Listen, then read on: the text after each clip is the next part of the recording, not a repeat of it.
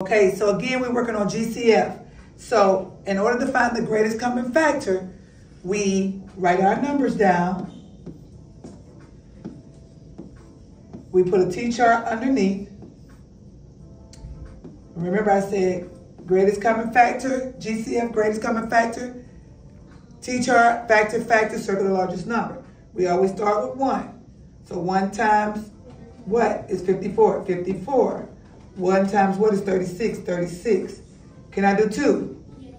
2 times? 27. 27. Can I do 2 over here? Yes. 2 times? 18. 18. Can I do 3? Yes. 3 times? 18. Huh? 18. Can I do 3 over here? Yes. 3 times? 12. 12. Can I do 4 over here? No. Can I do 4 over here? Yes. 4 times? 9. 4 times 9. Can I do 5? Can I do six? Yes.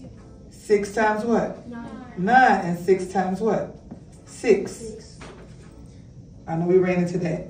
So now I need to find the greatest common factor. So we're gonna cross out our one, cross out our two, cross out our three, um, cross out our six, cross out our nine. So what's the largest number we have left? We're gonna circle our 18. So our GCF, greatest common factor, equals 18. Everybody understand?